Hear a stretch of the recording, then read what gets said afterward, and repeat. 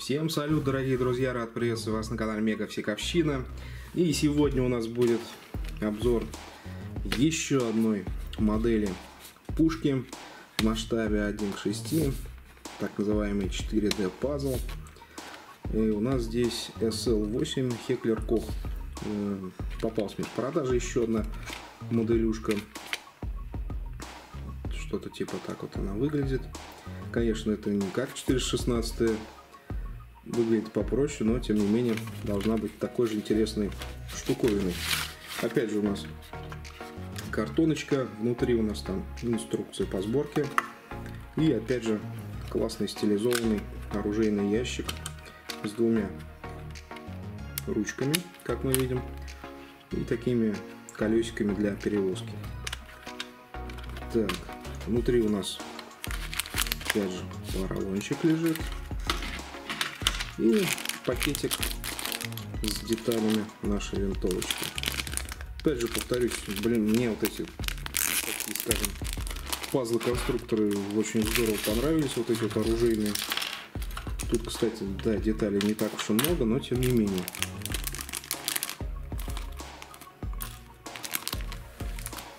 Все, что у нас здесь есть.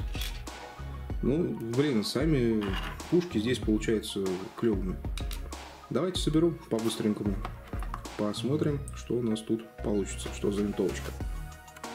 Итак, народ, по факту сборка тут гораздо проще, чем у остальных винтовок. Мы получаем вот такую вот классную снайперскую винтовку. Опять же, с хорошей детализацией, э, с кучей, скажем так, съемных регулируемых частей. У нас прицел можно снять, поставить на планочку. Обалденно.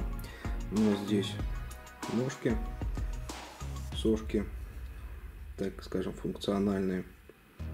То есть, сами, сами видите. Плюс, есть у нас тут такая еще накладочка тоже, она съемная, как видите. И единственный косячок, конечно, я нашел, вот у нас здесь есть магазин, патрончики здесь, судя по всему, они стандартные кладут, то есть патроны здесь явно меньше, чем те, которые здесь должны быть. Но тем не менее у нас тоже все здесь функционально. Ну, все работает, хоть и патроны маленькие. Ну, то есть это у них они стандартные, судя по всему, во всех